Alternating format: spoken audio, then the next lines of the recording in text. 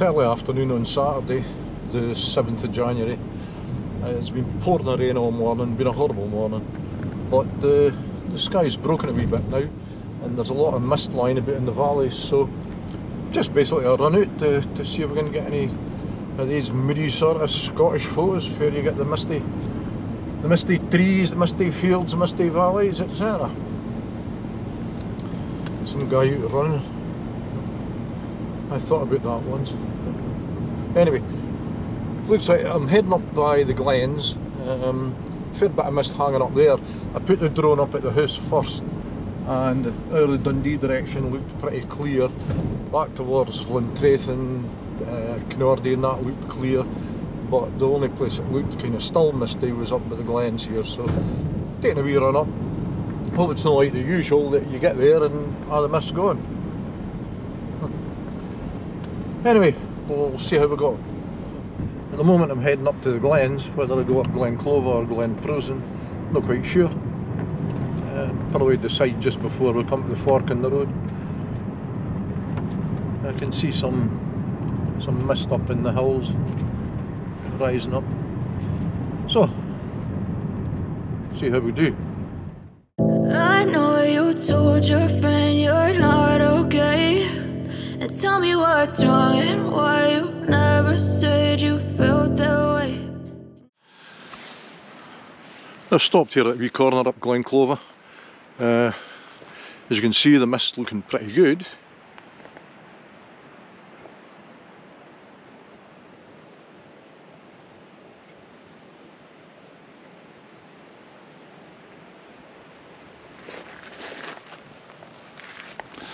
A wee break in the sky might make some interesting stuff.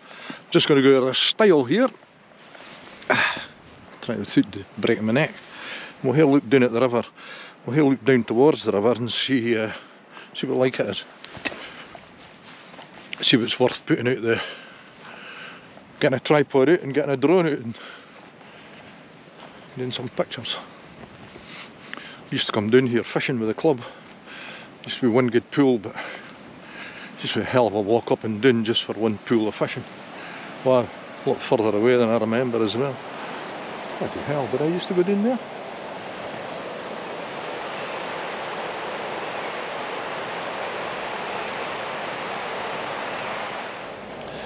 That must have been before I had knackered lungs. Christ almighty. I can't remember going through that. But anyway. Maybe it was a wee bit further on up this way we used to go down.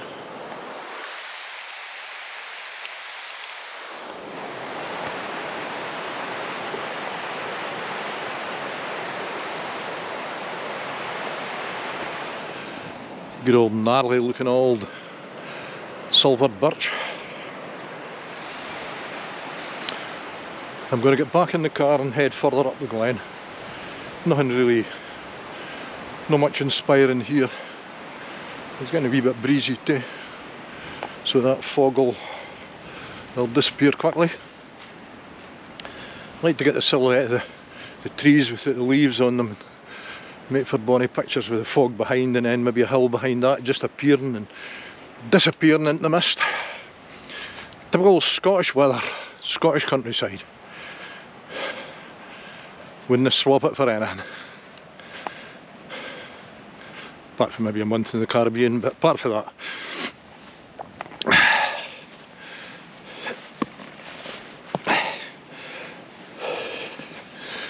Anyway, so we used to take the kids sledging in the winter and the grandkids. Guess you're trying to stay strong and fake a smile until I look away. Amazing how the weather changes in Scotland. I did a wee uh, YouTube video up here about three weeks ago, four weeks ago, maybe just before Christmas, and uh, everything was white. It was beautiful. Got some really good drone pictures that day. If you want to go into YouTube, you'll see the video. And it was about the middle part of Glen Clova, which is what we're in just now. And as far up as Clova Hotel, which is probably as far as we'll go today, then turn around and come back down the other side of the glen. This is the left hand side going up what I call the left hand side anyway. Uh, when you get to the junction it takes you into Gella Brig, you take the left hand road.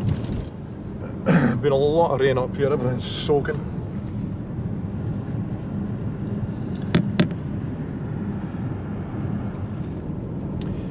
Four seasons in a day.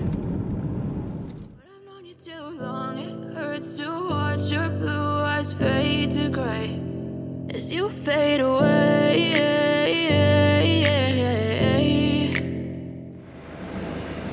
There's a river across there, just a slow meandering bit of water, but uh, looks like it's been over its banks. You can see at the bit of the the fence there, and just see the fence here. Everything's built up against the fence, so obviously the water's been a fair height. Starting to get a wee bit brighter, although it's heavy rain just now, but never say never. I'll stay out of your way I can see the way you look at me, I'm such a disgrace I never really asked to be brought into this place You wanna love me? Well then baby I have a taste All the highs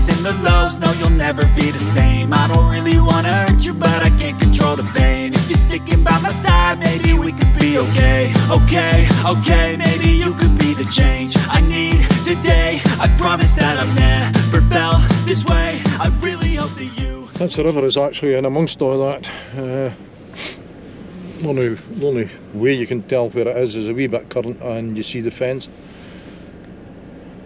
It's not been a lot of water again. I think a lot of snow melt because the hills are looking pretty bare now. Uh, there was a lot of snow on them for a while there and as I say the ice is probably melted now. Six degrees in the car so hell of a lot warmer than it was a few weeks ago. Certainly a fair bit of water on the roads when you see it.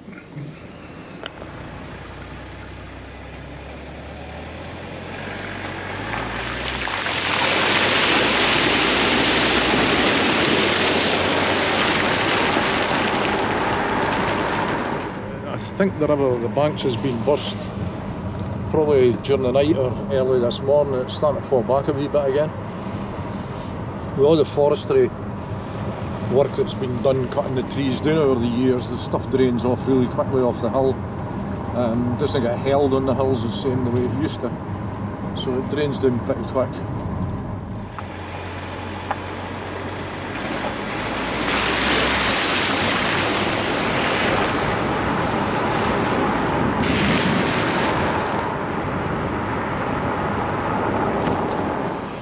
Parked in at this gate just before Clova Hotel. Um, just because of the way the mist's hanging about on the tops of the hills just makes for, I wouldn't say really beautiful photogenic pictures, but makes for moody kind of pictures, typical Scottish weather. So uh, I'm going to go, I'm just going to hand hold them. There's quite a few, there's a good strainer post there at the gate, so we'll put the camera on that and uh, have a go at that.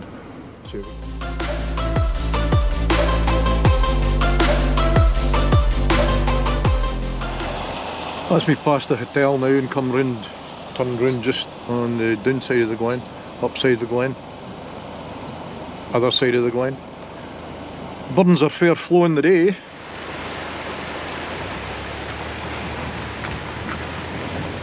A lot of water going down if you think of a, a hundred or a few hundred burns like that running off the hills going into the river. It's it's no surprising it gets so high so quick spates off and disappears, that's it. We're just gone up to Loch Heath, so we'll uh, we'll see what like it is. I would imagine all the ice is gone by now.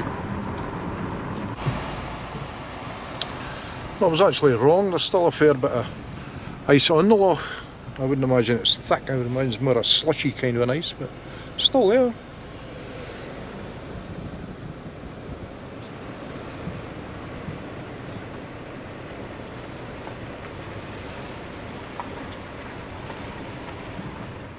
Fish will be sitting motionless on the bottom.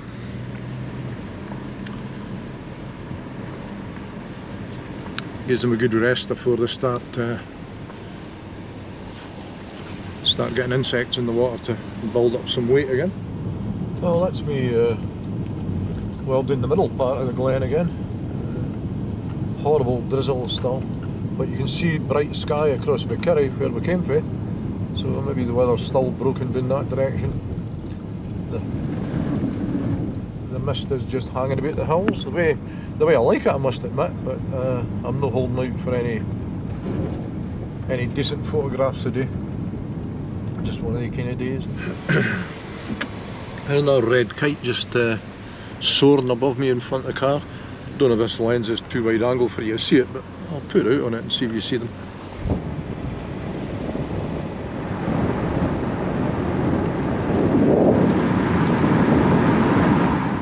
Beautiful birds. A lot more common now than they used to be. I think I'm right in saying they were introduced to someplace in the country and they've just sort of flourished since then. You don't realise how big they are until you see them next to a, a buzzard or the, a buzzard and a, a kite sort of in a fight in mid-air. I don't know how much of a predator they are and how much of a scavenger they are, I'm not too sure. I think all these things are the same like buzzards and kites and what have you. I think they would rather eat roadkill rather than uh, have to go and kill. Anyway, Rottleburn.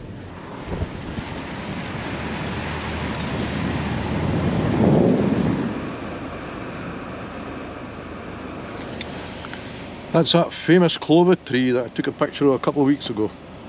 Uh, most photographed tree in Glen Clova, if not Scotland.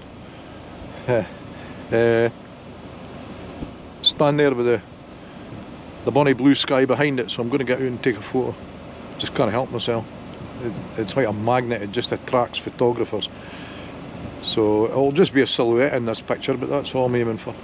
Against the the brighter looking sky and maybe with the road leading you into it. So if it's a worthwhile shot, here you go. I'll post it now.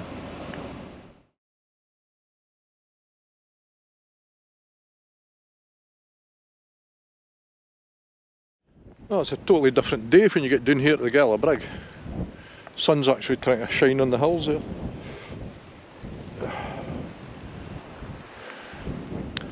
Looks like uh, some flowers and what have you left on the bench here. Loving memory of Harry and Dorothy Miller from all the family. It's a nice wee touch to see up the glen. Nice to see that. Well, it's fared up now. Uh, fairly windy. Not sure how the wee drone would handle it.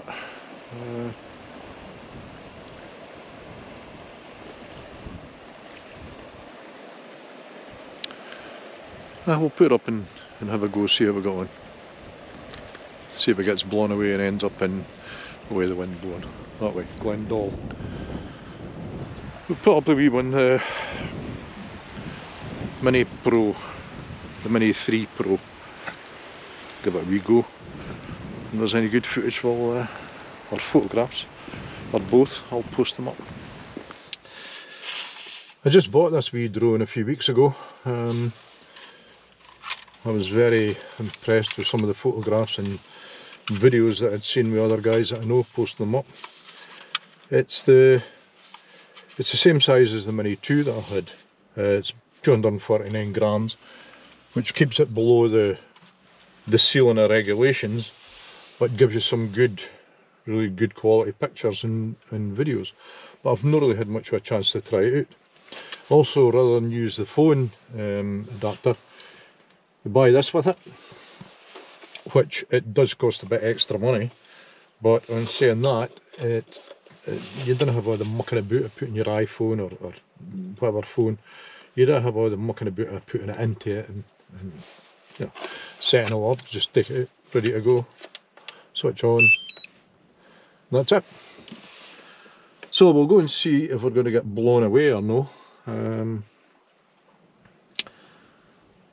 and if we do, I'll probably go him in tears.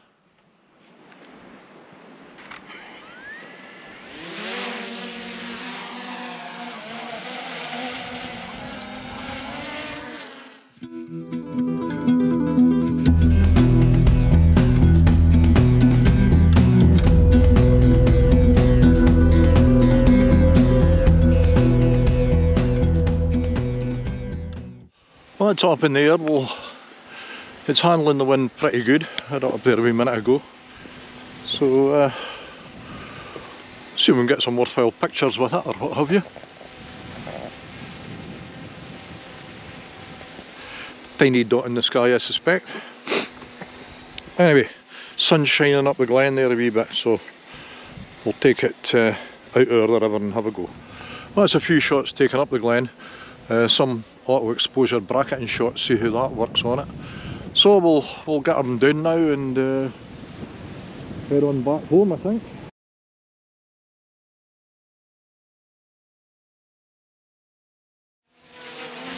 I would say this is no easy to film this and control it with one hand.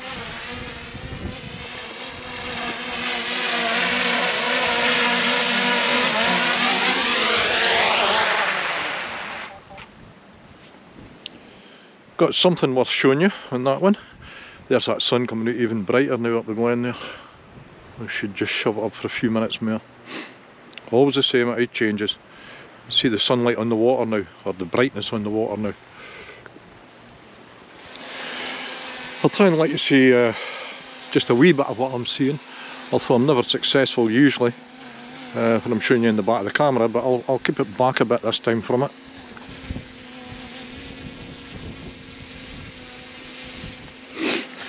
The hatched out areas are where the sky's a wee bit overexposed, a wee bit bright, but I'm just going to leave that I'm just going to leave that at the shutter speed I've got because really it's uh, we'll sort it out in Lightroom.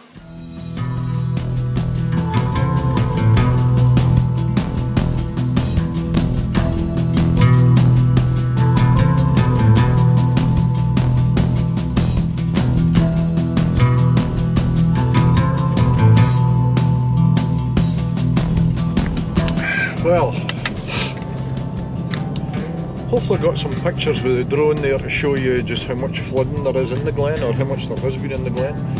Actually it looks like it's getting a wee bit worse since I've been coming up here, since I've come up here today. Maybe just the uh, water running down off the hills and what have you. Certainly plenty in the burns and plenty in the river. So it's been another uh, another wee adventure in the Scottish countryside on a dreich day. Not too cold, nose is running, but uh, not too cold. Maybe I've got some pictures, a wee bit video, just a wee bit everything to to give you a wee bit of interest as to, to what it was like. It's Certainly a lot brighter as I get down near Kirrie. So uh, I hope you enjoy it. Um, as usual, a, a wee a wee press on that like button and uh, a subscribe would be brilliant, thanks. So, I hope you enjoy it. I, I've enjoyed making it. And until next time, take care.